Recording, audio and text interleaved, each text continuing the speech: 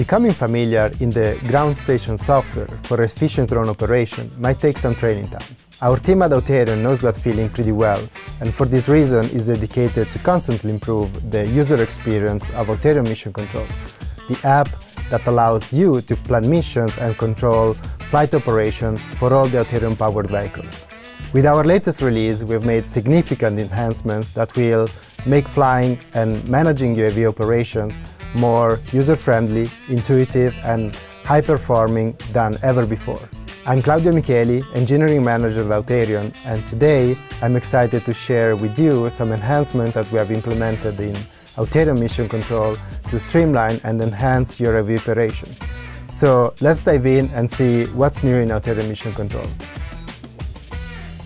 The first thing you'll notice when opening Auterion Mission Control is the onboarding wizard, which will allow you to register your Auterion Power vehicle in just a few steps.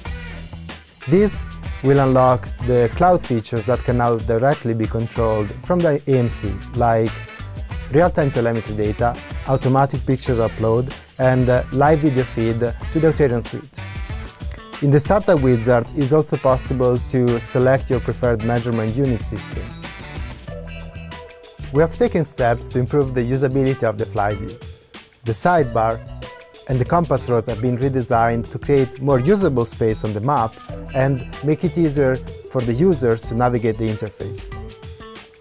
Moving to the sidebar, there is the quick actions which allow you to interact with the vehicle in perform operations such as takeoff, start mission and RTL.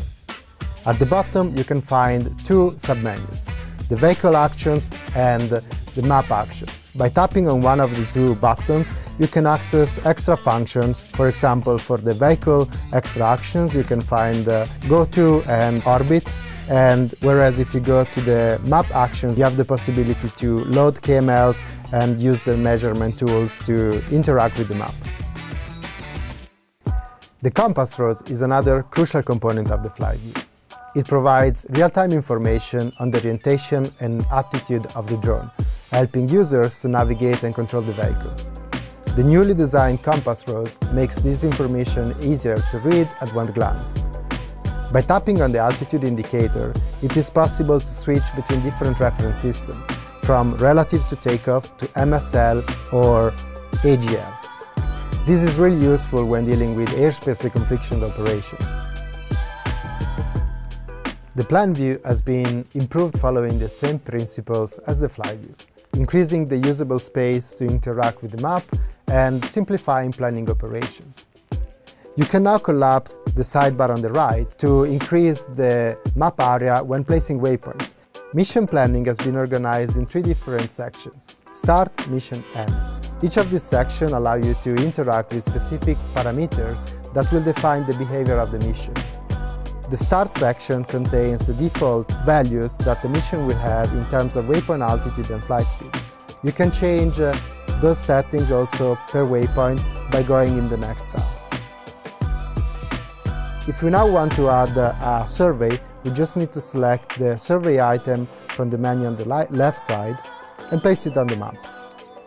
This will basically create the mission and we can interact with parameters such as front overlap, side overlap and ground sampling distance that we want to achieve during our survey. And we can see and monitor how, for example, the number of pictures, the photo interval and the resolution of the survey is going to be affected by our changes in terms of flight, flight speed and altitude. Moving to the End tab, we can find the last action that the vehicle will perform. If you feel you need a geofence in your survey, you can just navigate to the extra section and add a geofence. This will guarantee that the vehicle will not exit the boundaries that you have defined.